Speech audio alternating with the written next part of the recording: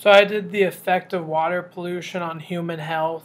Um, I chose this basically because water impacts our health directly in all sorts of ways, and I know 1 billion people lack access to safe drinking water, so I wanted to focus on that. Water pollution. Pollution is defined as introduction of a substance that has harmful effects into the environment. So the past couple or the past years we've seen an increase in this, so it's become a concern and it can be caused by garbage, toxins, litter, development, industrial causes, basically any substance that's not organic and supposed to be in our bodies of water somehow getting into our bodies of water. And then the focus of this paper is on human health, so specifically waterborne illnesses. I'm here two pictures of pollution. As you can see, these are extreme cases, and basically, waterborne illnesses could be contained in these waters because of the extreme pollution and how dirty the waters are if someone were to drink it. Okay, so background on waterborne illnesses. They're present in many countries, but they cause the most harm to citizens of the third world countries, so undeveloped countries.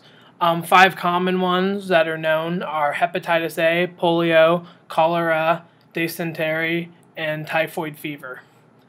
Um, they're all caused basically by fecal matter in the water, and then basically if you drink that, so not having safe drinking water and drinking polluted water that has feces in it. The map above shows the countries at highest risk of um, waterborne illnesses. So as you can see, like lots of the countries in Africa are at higher risk. America looks pretty safe. The darker the color, the bigger risk. And then the picture below is possible fecal matter, feces going through that tube into the water. So if someone were to drink that, they'd be at risk for all sorts of uh, waterborne illnesses. Okay, so I'm going to run through the ones I did my presentation on. Hepatitis A is a liver disease and it's really mild. There's a 1.4 million cases a year, and there are 95 cases in 2010 in the U.S. Um, there's no specific treatment for it, and it's one of the more mild waterborne illnesses. Polio, there were outbreaks a long time ago and like epidemics, but it's decreased 99% since 1988 um, it affects people under five mostly. There are 414 cases in 2013. Um, there's no evident symptoms at first, but it can lead to paralysis, as seen in that picture, in some serious cases. And as long as one case exists in the world, everyone's at risk of getting it. And since there's no cure, um, it puts a lot of people at risk. Cholera. It's the most deadly waterborne illness. Um, there's 4 million cases a year. Um, it can be fatal within hours if left untreated. That's what makes it so deadly, more deadly than these other four that I did. Um, 75% of victims have no symptoms, and um, it's continuing to rise, and basically with places that lack access to safe drinking water, and it's become a concern because it's continued to rise throughout the world dysentery is um, caused by the bacteria Shigella, and it it's dangerous because it can exist for long periods of time outside the body, so just kind of linger around and then attack the body when it's most vulnerable to becoming sick. 140 million people develop it each year, and you get sick from as few as 10 bacteria getting into your uh, system. And symptoms include fever, cramps, and rectal pain